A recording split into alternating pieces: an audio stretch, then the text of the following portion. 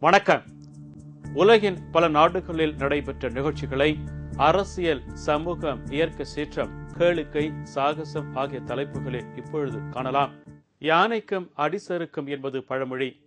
யானையைப் போல உள்நாட்டு பாதுகாப்பில் வலிமை பெற்றிருந்த அமெரிக்காவுக்கு இரட்டை கோபுர தாக்குதல் ஒரு சர்க்கிள் தான். அமெரிக்காவில் நியூயார்க் நகர இரட்டை கோபுரம் தகர்க்கப்பட்டு பத்து ஆண்டு நினைவு தினத்தை முன்னிட்டு அங்கு பிரம்மாண்டமான ஒலிக்கதிர்கள் வீசி அச்சம்பவத்தில் பலியானவர்களுக்கு அஞ்சலி செலுத்தப்பட்டது.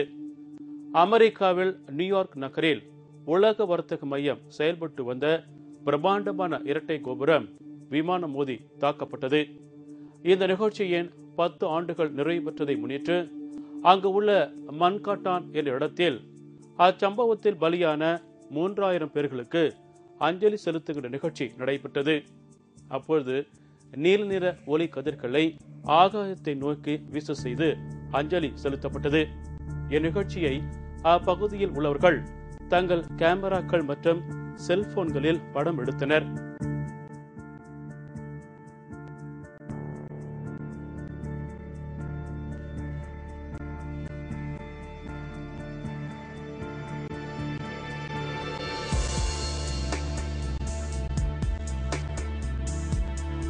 குஸ்தாவா பானவற்று என்ற கலைஞர் ஒருவர் தெரிவித்த ஆலோசனையின்படி இவ்வாறாக ஒலிக்கதிர்கள் வீசி அஞ்சலி செலுத்தும் நிகழ்ச்சி நடத்தப்பட்டது.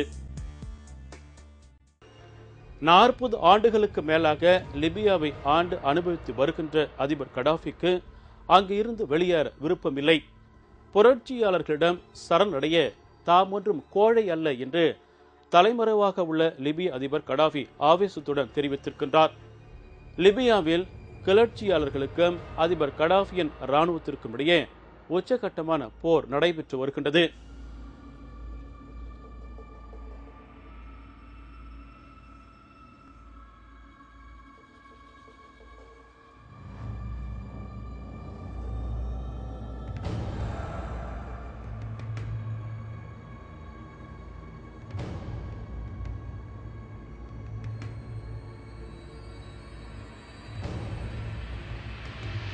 ஆட்சி அதிகாரம் கிளர்ச்சிப்படை வசம் வந்துவிட்ட நிலையில் கடாஃபி மற்றும் அவரது அரசில் உயர் பதவி வகித்தவர்களை பிடித்து சிறையில் அடைக்க கிளர்ச்சி படை தற்பொழுது தேடுதல் வேட்டையில் இறங்கியிருக்கின்றது. போர் உச்சகட்டத்தை எட்டி இருக்கின்ற நிலையில் கடாஃபியின் மகன் சரண் அடைய முயன்று வருவதாக கிளர்ச்சி படை தரப்பில் கூறப்பட்டுள்ளது. இதனிடையே கடாஃபியின் வெளியுறவுத்துறை அமைச்சர் ஹப்டிலாத்தி ஓபேடியை கிளர்ச்சி படையினர் கைது செய்திருக்கின்றனர்.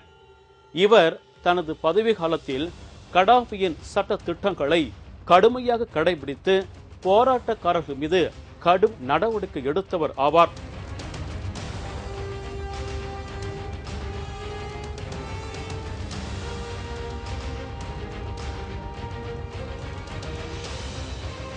இதனிடையே சிறிய தொலைக்காட்சி ஒன்றில் உரை நிகழ்த்திய அதிபர் கடாஃபி கிளர்ச்சியாளர்களுக்கு பயந்து தாம் பின்வாங்க போவதில்லை என்றும் சரணடைய தாம் ஒன்றும் கோழை அல்ல என்றும் ஆவேசத்துடன் கூறினார்.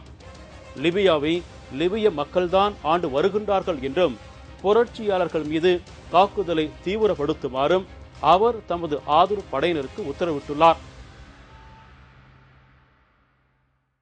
முத்தமிட்டு போராட்டம் நடத்துவதால் முத்தம் இடுபவர்களுக்கும் பெறுபவர்களுக்கும் ஆனந்தம்.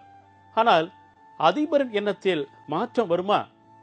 சிலிநாட்டு மாணவர்கள் வன்முறையை கைவிட்டு அரசுக்கு எதிராக முத்தமிடுகின்ற போராட்டத்தினை நடத்தினர். சிலி நாட்டின் அதிபராக செபாஸ்தியான் பினோரோ இருந்து வருகின்றார். இவர் அண்மையில் கொண்டு வந்திருக்கின்ற கல்வி சீர்திருத்தங்களுக்கு எதிராக மாணவர்கள் போராடியதால் வன்முறை வெடித்தது. அடிக்கடி மாணவர்களுக்கும் போலீசாருக்கும் இடையே தகராறுகள் மோதல்கள் எழுந்து வந்தன. சாண்டியோகோ நகரில் கூடிய மாணவ மாணவியர்கள் தங்கள் எதிர்ப்பனை அதிபருக்கு தெரிவிக்கும் வகையில் ஒருவருக்கொருவர் முத்தமிட்டு புரிய வைப்பது என்று முடிவெடுத்தனர்.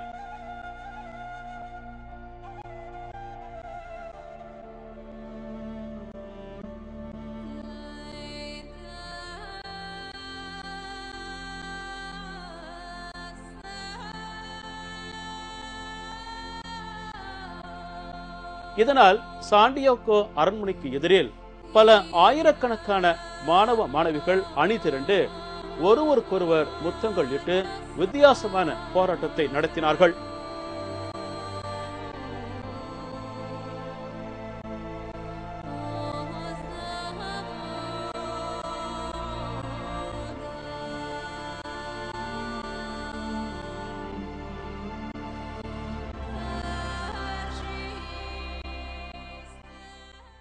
மனிதாபிமானம் போல் இது மக்களின் மீன் அபிமானம்.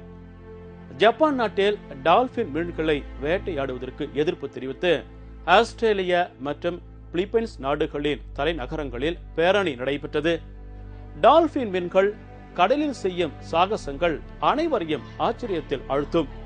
கடல் அலைகளில் சிக்கி தவிப்பவர்களை சில நேரங்களில் டால்பின் மீன்கள் இழுத்து வந்து கரை சேர்த்த சம்பவங்களும் உண்டு.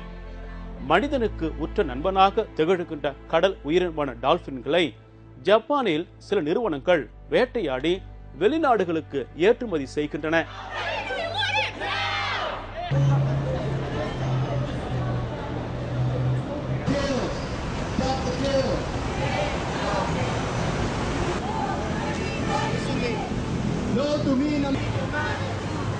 Stop the kills. Stop the Kills. டால்பின்கள் மற்ற மீன்களைப் போல சாப்பிடுவதற்கு உகந்தவை அல்ல. என்றாலும் அவற்றின் தோல் மற்றும் எலும்புகளிலிருந்து எடுக்கப்படுகின்ற எண்ணெய்க்காக அவை வேட்டையாடப்படுகின்றன.